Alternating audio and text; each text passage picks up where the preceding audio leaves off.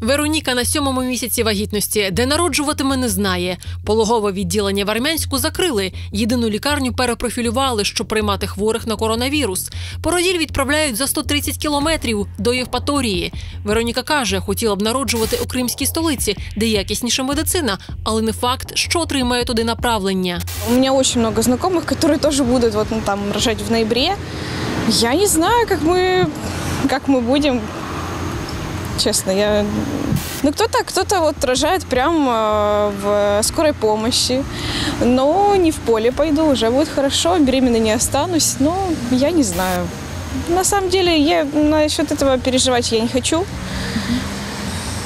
Как-то будет.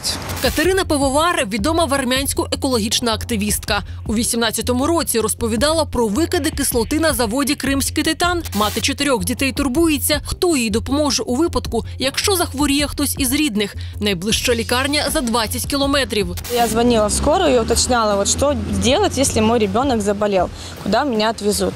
Нам сказали, скорее всего, в Красноперекопск. Но я уже находилась в этой больнице, я там в таких условиях я с детьми не смогла находиться. Потому что там просто ужас, ужас. Будем ехать своими силами в Симферополь, как-то пытаться брать направление, потому что в Красноперекопск я бы не поехала с детьми. На ціле Армянськ із населенням 22 тисячі людей працює денний стаціонар на 10 ліжок та фізіотерапевтичне відділення. От як про роботу міської лікарні, яку перетворили на коронавірусний шпиталь, розказує головний лікар. Ситуация в госпитале стабильная. Больные поступают только с легкой формой заболевания. Все вопросы, связанные с безопасностью, утилизацией отходов, охрана, соблюдаются. Что касается дневного стационара, то он работает на базе физиотерапевтического отделения. На данный момент на лечении там находится 12 человек, при необходимости количество коек будет увеличено. Серед опитаних нами місцевих жителів не всі знають, куди за екстреної потреби звертатися по медичну допомогу. Людям, которые нуждаются в помощи, некуда обратиться. Им приходится ездить то ли в Красноперекопск, вообще не знаю что. Если мне на сегодняшний день 70 лет и многим другим 60-70, попробуйте туда ездить. Это и материально накладно, и морально. И попробуй там постоять везде в очереди. И примут ли там тебя? Я, например, сделала операцию на сердце. Если что, в целях профилактики, куда я ка- каждый раз должна ездить? А я вообще в нее не хожу. Сколько живу, не хожу. врачи не принимают. Красноперекопский, армянский. То есть не надо было как у лису, то берешь направление, едешь в Симферополь, это гроши, и там уже только по направлению. То есть это лажа. Врачей не хватает, ну и что тут? Что мо- мо- мо- может мое слово решить? Да нифига. Ханса Дуглас хірург, який переїхав на півострів із сусідньої Росії. За програмою Земський лікар, уродженець Нігерії разово отримав 15 тисяч доларів у перерахунку.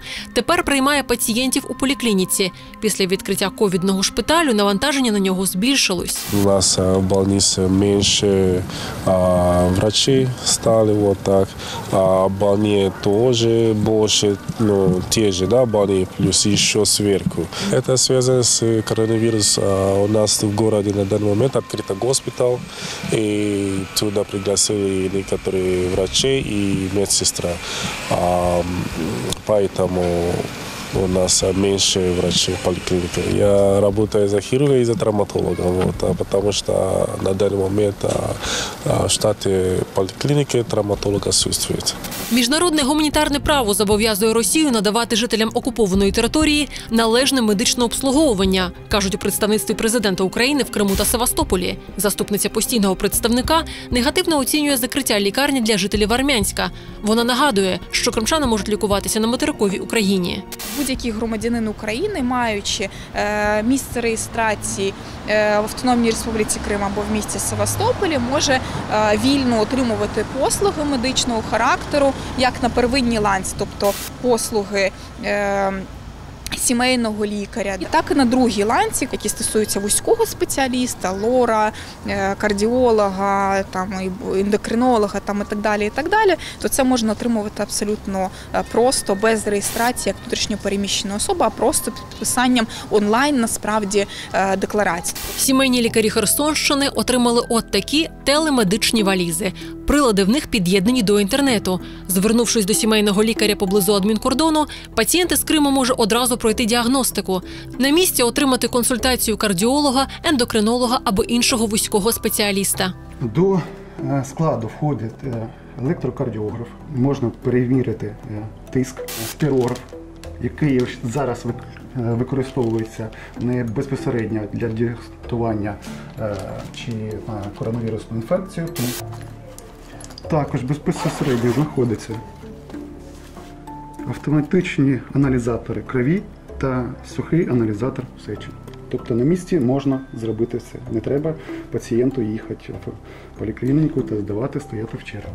Та засіб, який записує, як працюють легені, та записує, як працює серце. Уже з 2021 року кримчани зможуть консультуватися із сімейними лікарями онлайн, обіцяють в представництві президента України. У центрі медичної статистики Херсонщини кажуть, що тестують ці сервіси. Існує е, варіант і по скайпу зараз, і в WhatsApp, і Телеграми. Існує це пацієнт зв'язується зі своїм е, сімейним лікарем. З 2014 року ми не полишаємо е, сил на створення спеціальних порталів е, для роботи саме з кримчанами.